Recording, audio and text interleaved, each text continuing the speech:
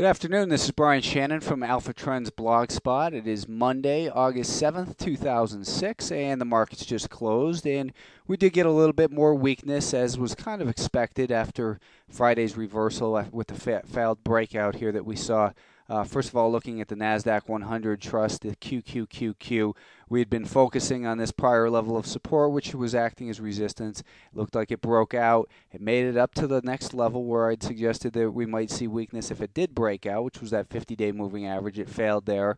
And I think it trapped some more people in long after breaking above that trend line and the uh, prior level of support. Looking at a 10 minute time frame of the Qs, we can see here that we've still got this, uh, you know, in the 10 minute time frame, we've still got this trend line intact. And again, we've got the Federal Reserve that meets and um, announces any potential changes to monetary policy tomorrow at I guess uh, 2:15 Eastern. We'll get that announcement. So the market's going to probably just continue to chop sideways a little bit until then. This meeting again, you know, analysts are really divided whether or not this one they're going to raise rates. And and I think that if we see them raise rates, that uh, well, you know what? I don't. I'm not going to make predictions about what's going to happen. What I want to do is focus on the action afterwards, and I'm going to give my standard warning around a Federal Reserve issue time, which is that the trading gets very volatile, and if you're going to bet on it, you know that's. Uh, that's basically what it occurs occurs to comes down to is if if you put a, a uh, trade on before the market announcement you're betting. There's really no odds in that. And tomorrow's a good day for less experienced traders to just kind of sit on the sidelines and observe. If you're a scalper then it can be a good environment to be in. But even for scalpers I think a lot of times it gets very too quick in there. So um, I may or may not uh, participate tomorrow just based on how I've done in previous Federal Reserve days. They just tend to get a little bit too volatile for me. And today we saw the you know we saw that in, in the stock ideas as well. Let's before we look at those though, let's take a look at the S&P 500 because there also we've we've been focusing on this real mixed picture and this 128 and a quarter to 128 and a half level. Let me just clear that out. 128 and a quarter 128 and a half level which was prior support and then resistance in here. And the market again it's it's holding above this rising 10-day moving average. That 10 is above the 20 the 20 is above the 50 the market sold off today on light volume. So we're really continue to be at a crossroads here in the S&P 500 we've got a real mixed market. It's a stock pickers market. We might have you know, we could say that, you know, realistically, objectively, that the market broke this uh, inverted head and shoulders pattern, and that gives us a target up near that 132 and a half, 133 level. So, um, who, we'll see what happens. I, I don't want to get too aggressive on either side of the market. Let's take a look just real quickly to put this thing to bed. Is this uh, Hansen? Because last week I was called for being dead wrong on Hansen with my short, and I'm going to go on record again saying that I once said to sell the stock short here. It fell $6 in two days. I then said sell the stock short here and was stopped out with a small loss. And, you know, those are my stops. You guys got to learn to recognize that I keep tight stops. And if you're going to be playing these stocks, then uh, you learn to make the ideas your own. Don't just listen to what I say. A lot of times, you know, last week I had bet on Boom as far as uh, hoping that this stock would fail based on earnings. Well, I guess I should have bought the puts in Hansen. I looked at the puts in Hansen because I thought that the earnings might be the catalyst for it to break down further, but they, I thought they were too expensive. Now, in retrospect, they weren't too exp- expensive. They were very cheap. I was looking back in here, I was looking at the 45 puts, which were about $2. So right now, those 45s are worth about $15.15. The point is, though, again, make the ideas your own. And another point is, don't buy these stocks when they gap lower just because of their PE or whatever. I put one emailer's comments back up there today because he was uh, pretty arrogant about his bullish call in Hansen about two weeks ago, defending the the fact that you know he thought it continued to look good, and he had he had sent that in right over in here, saying that it was very bullish based on their PE and all this other stuff that really is irrelevant to what we're doing as shorter term traders. And I hope that guy got out okay and didn't experience this gap lower because no one uh, deserves to have that happen to him in the market. The market is full of risk, and you've got to learn to recognize when the story is over. And it seems like the story's over in Hansen. And uh, you know, I even said it yesterday too that they continue to go after these high high flyer, formal momentum leaders, and there's no room for error.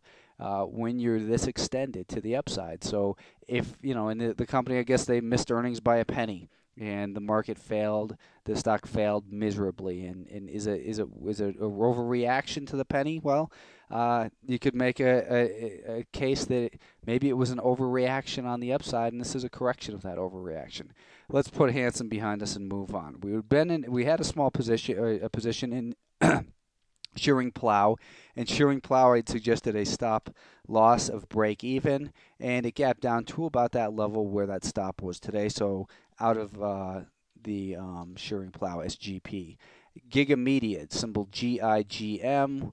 I had uh, suggested buying it above this level last week, and I'd suggested if you were still in it, hadn't taken your profit, to put your stop under here. So that stock should have been stopped out as well. CTXS, um, we were short this stock, and I suggested a a um, uh, a stop near thirty dollars and seventy cents and the, the, stock gapped up a little bit higher than that. Worst case, I think you got stopped out of here with about a 20 cent gain.